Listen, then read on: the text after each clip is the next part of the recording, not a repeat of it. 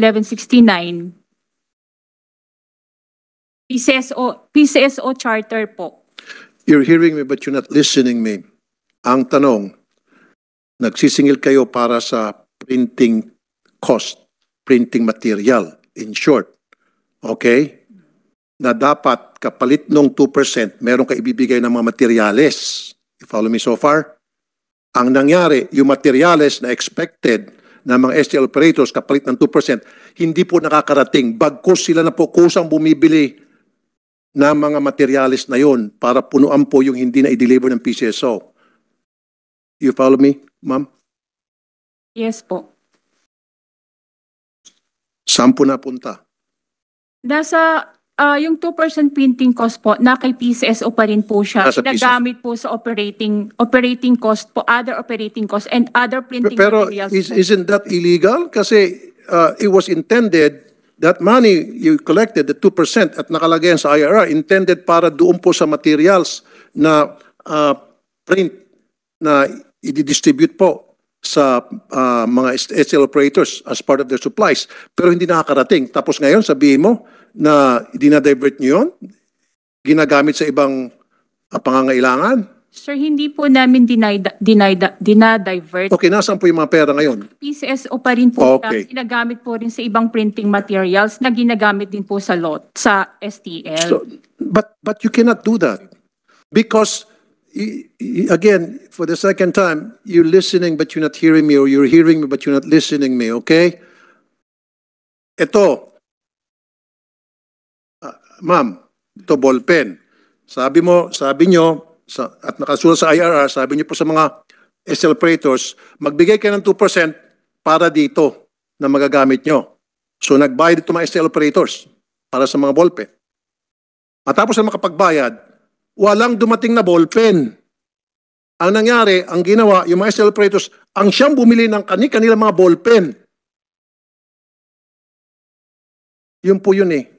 Sinisimplify ko na lang po, madam. Mr. Chair, if I may, Go ahead. ibig sabihin yung pambili ng bullpen, hindi pwedeng pambili ng Jollibee o McDonald. Di ba? Parang ganun po nangyari. Para sa bullpen lang yun. Senator Chi, Bato. Thank you, thank you po. Yeah.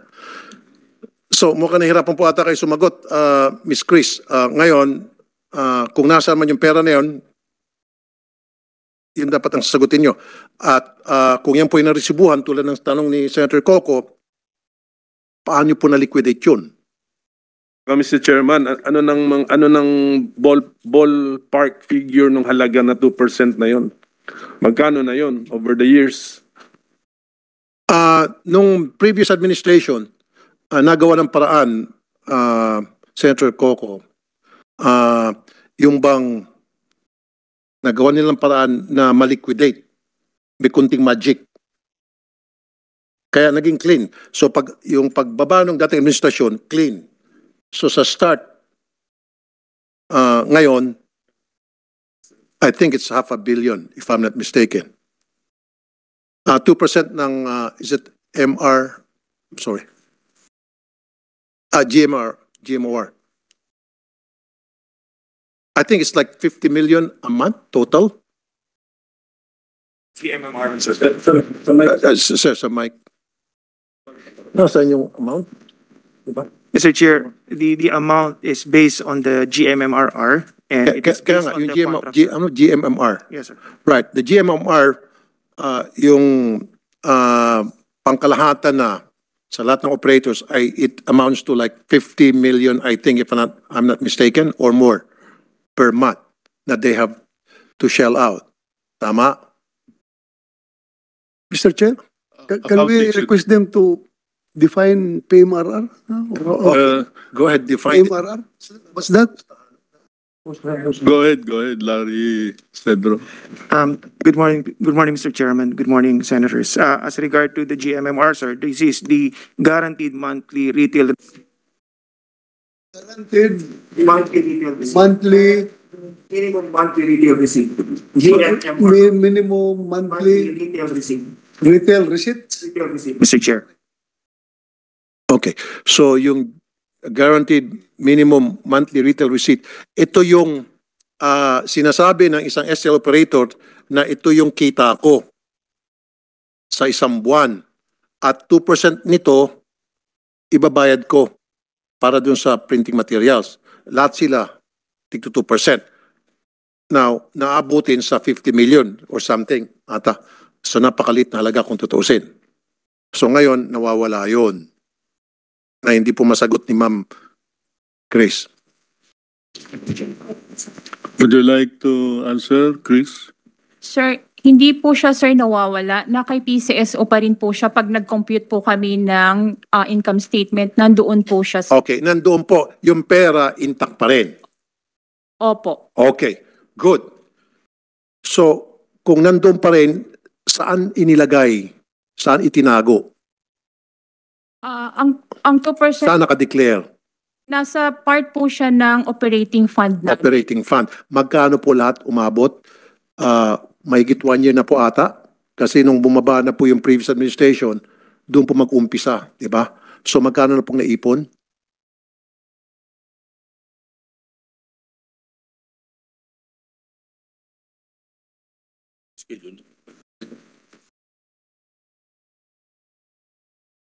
For 2022 lang.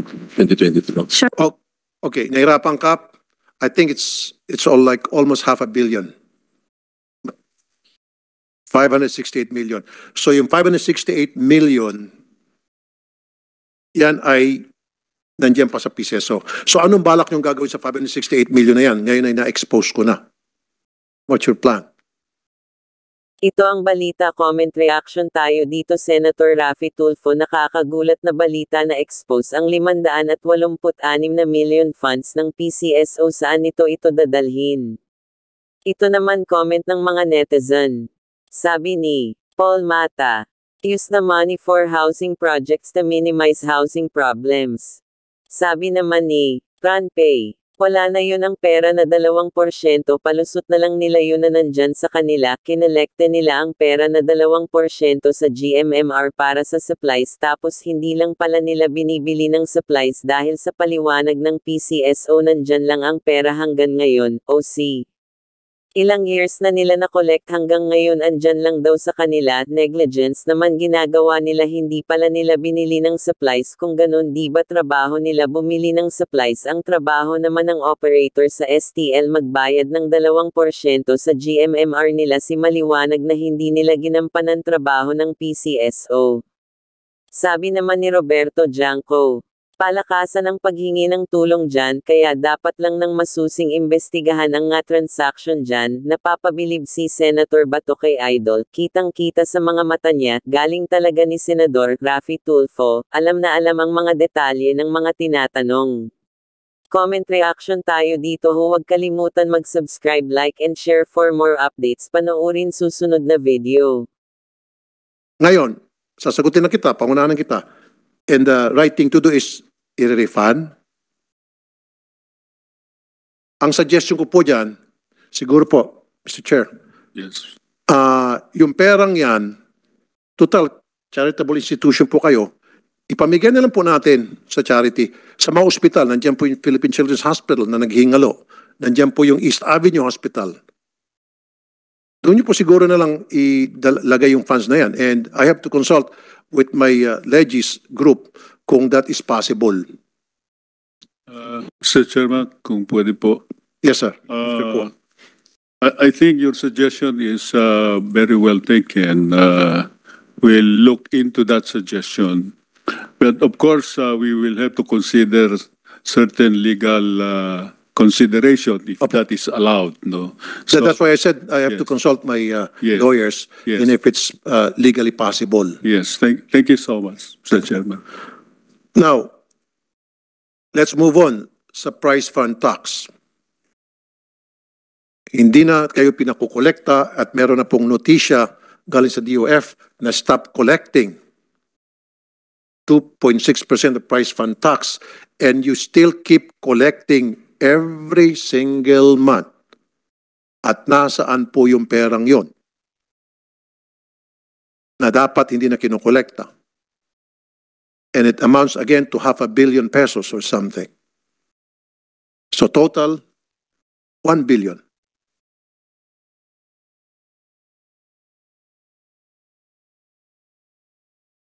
Yes, um, Mr. Chair. Go ahead, Attorney Patyak. Uh, ah, nasa presentation po sana namin yan pero papagkitin ko na pa.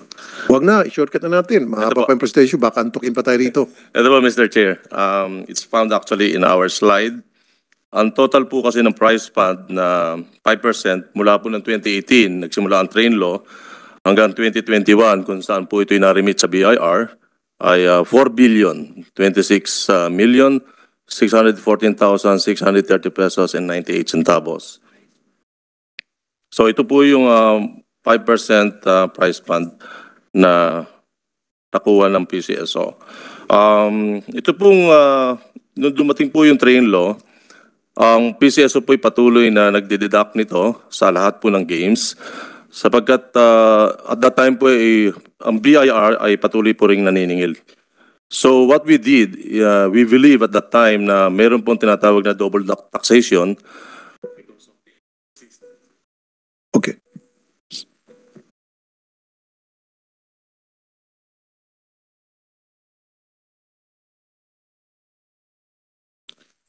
Napindot ni chairman yung ano. Go, go ahead. Go ahead po. Uh, to continue, uh, Mr. Chair, um, at that time we had talks with BIR po, and uh, we were advised to continue uh, remitting the 5% because uh, Who, who, who is that person that advised you to continue collecting despite the fact na there has been an instruction from the higher up, meaning the Department of Finance? Mismong sa Department of Finance Secretary gave an order to the BIR and to PCSO to stop collecting. So you defy the order from the higher up. Actually, Mr. Chair, um, at that time, ito po sa large taxpayers group ng BIR. Pero ito po, yung nag, nag-file po kami ng, uh, uh, nag-appeal po kami sa Department of Finance. We uh, question po yung seemingly this is a double taxation because of the imposition ng 20% doon po sa mga winners, more than 10,000. So, fortunately, you- okay, you, you appealed. So anong nangyari, anong nangyari, nangyari po doon? So- sorry ah, kasi ako mahilig ko mag-shortcut eh, para mapabilis tayo. So nag-appeal po kayo. Yes po, totoo So po. anong nangyari po doon sa inyong appeal? Yun nga po. Fortunately, we received the favorable uh, DOF uh, opinion po last January 2022. January 2020. January 2022, Mr. Chair. So, dahil po dyan, uh, we were advised by our legal na at uh, Ano dahil pong nakalagay doon sa January 2022 na uh, resolution ng DOF based on your appeal?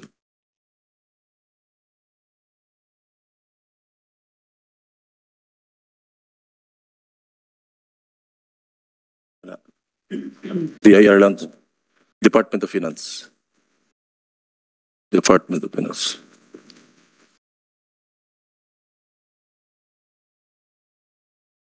Department of Finance. DOF.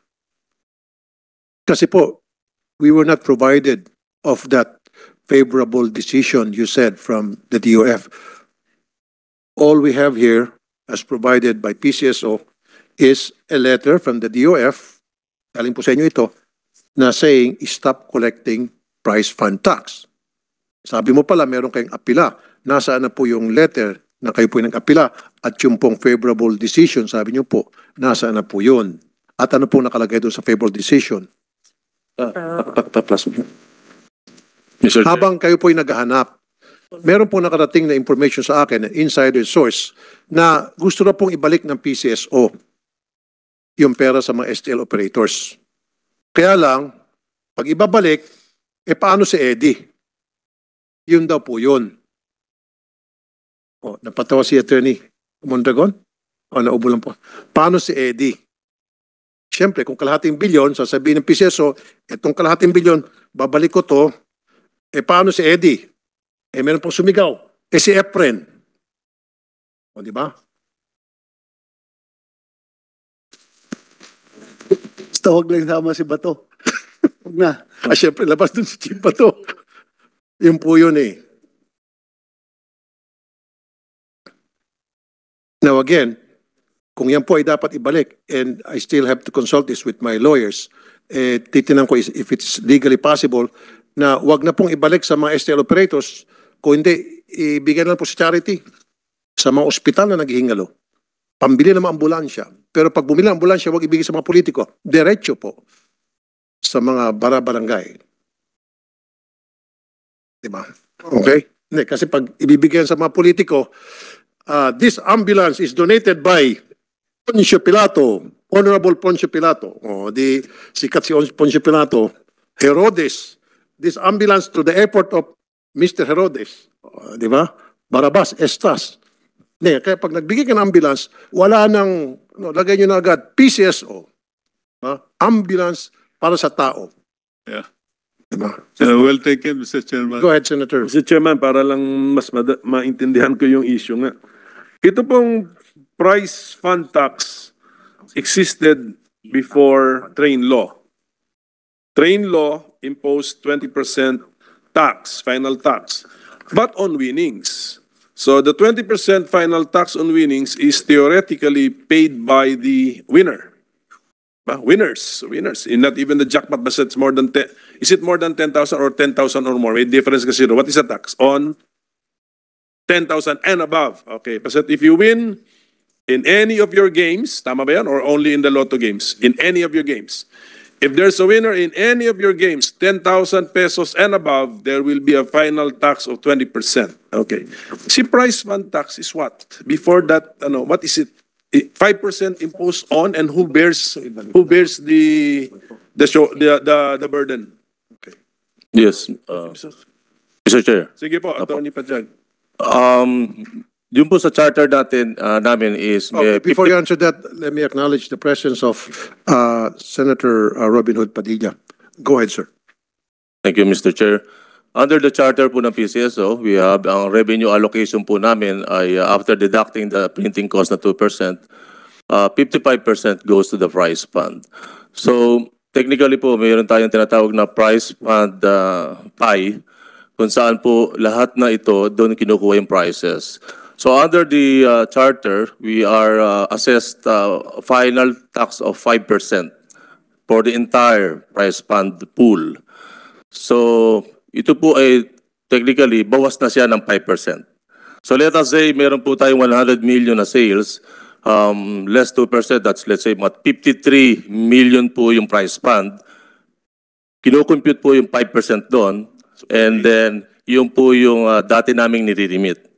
And yung pong uh, sa, under the train law, with the introduction of the train law, ito pong um, 10,000 and above, ina-assess po naman yun sa prices na natatanggap ng winners. Right. So, sa tingin po namin, dahil isa lang yung nature ng transaction, isa lang pinagkukunan at siyang activity lang. So, there was this uh, uh, double taxation issue. So, yun The po yung- taxpayer is different. Yes, but uh, The 5% price fund tax is paid by the PCSO. yes, but kung titingnan po natin, uh, winners din po nagsasuffer doon sa 5% na price fund dahil binawasan po ng 5% ang paghahatian nila. So may advance na bawas ng 5% final tax ang buong pool po ng uh, 55%. So nataksan na po sila sa umpisa Is pa lang. the, is the price fund on a per, per game basis? Every time you offer the price fund, you pay 5% of it? Whether the jackpot is hit or not?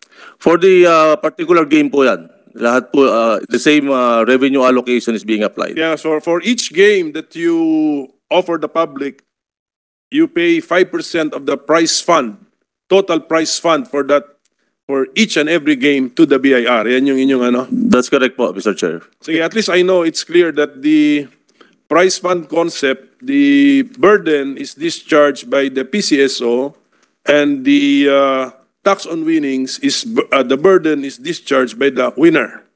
Because if there's no jackpot winner, there is no tax, the final tax on the, on the amount of the jackpot. Tama? Klaro? Y- yes, Mr. Sige Chair. po, salamat po. Thank you, Senator Coco, and we can, that, that's a very interesting question that you have, and we will go back to that. For the meantime, ito na po, may nakita kong letter. Hindi pa nakita yung letter Ito, sa, ito po, Mr. Chair. eh, DOF. yan ay mababaliwala sa sulat na ito. What, what is the date of that letter? Actually, wala pong date ito, pero we received the letter from uh, Baka, gal- Department of... ba- baka galing sa recto yan. Ito po, Hindi po. galing mismo sa Department of Finance. January 24, 2003. Meron kayong kopya ng sulat na ito? Sa BIR. January 24, 2023, sorry. Mr. Chair, ah, ano po yan? Yan po yung sa BIR na naging sagot sa aming katanungan. K- Kaya nga, Apo. na sinasabing ibalik na. Apo. Yan, na-confirm po yung aming ah, hinihiling. na no, hindi confirm. Sinabing ibalik na, i-refund na yung price tax fund. At mag-apply na lang, magkaroon ng bago application for that 5%. Pinababalik na. Ayan po. Ah, hindi, hindi pa po, ah, Mr. Chair. And the large taxpayer service. Opo. Ah, ito po yung eh, tama po yung binabasa ninyo. Dito po sa aming ah, sa letter po ng BIR January 24, address po kay GM Robles. ah, we- this is with reference to our ah, letter po ng March 1, 2022.